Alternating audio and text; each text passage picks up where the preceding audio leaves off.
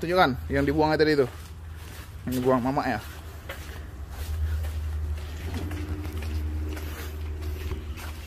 Ayo turun ke bawah, turun ke bawah.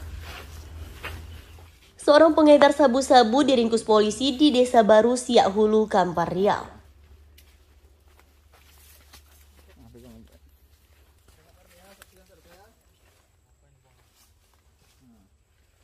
Tersangka berinisial RV ditangkap saat berada di rumahnya dengan barang bukti 83 paket sabu-sabu siap edar yang disembunyikan di kebun di belakang rumah. Apa isinya gitu loh. Oh, ini sabu nih isinya nih. Nah. Ibu apa buang nih? Nah, nah ini sabunya.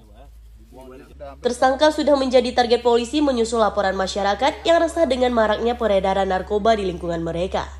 satu, dua, tiga, empat, lima, enam. Ya, baru kita kan Pak Lagi? Nah, dua, tiga. Ibu ibu sini bu, ibu yang buang tadi. Barang terlarang itu didapat dari temannya di Pekanbaru yang identitasnya telah diketahui dan tengah dikejar petugas. Anda biar, biar biar biar mau sini, jangan kau suruh pergi. Ada Pak Agus tempatnya Pak Agus biar Ini biar, ini, ini. biar dihitung. Oh.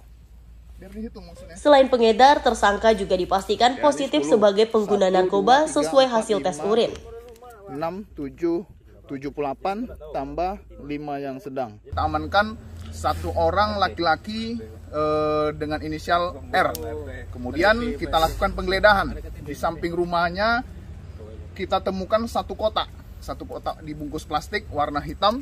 Setelah dilakukan penggeledahan, didampingi dengan RT setempat, kita temukan narkotika jenis sabu-sabu dengan jumlah yang cukup banyak, sekitar 78 lebih eh, yang sudah siap edar. Tersangka ditahan di Polsek Siak Hulu dan dikenai pasal 114 Undang-Undang Nomor 35 Tahun 2009 tentang narkotika dengan ancaman hukuman 5 tahun penjara.